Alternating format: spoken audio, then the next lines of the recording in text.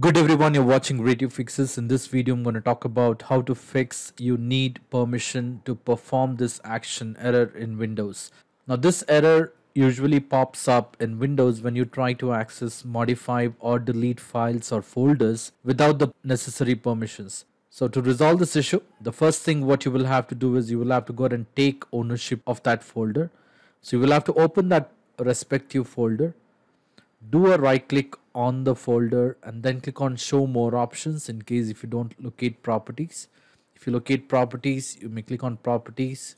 And then once you have the properties for that particular folder click on the security tab and then click on advanced. Once you're on the advanced you will see the change option under advanced security settings for that particular folder.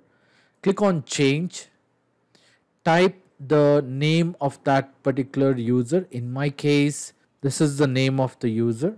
You may click on check names or else if you know the letters you may type the first two or three letters and then click on check names. In case if you get any error message what you could do is you may go and click on advanced and then click on find now.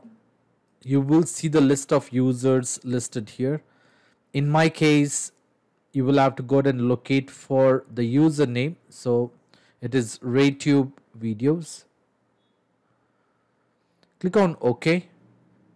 Click on OK and check the box which says replace owner on subcontainers and objects. Click on apply. Click on OK and then click on OK again. And on the next window you may go and click on OK. With this you should be able to now you should be able to open that folder and you should be able to make necessary changes. So this is how you can go ahead and fix this issue. I hope this video was useful. In case if you like this video, please make sure to hit the like button and do not forget to subscribe to my channel. Thank you. Have a great day.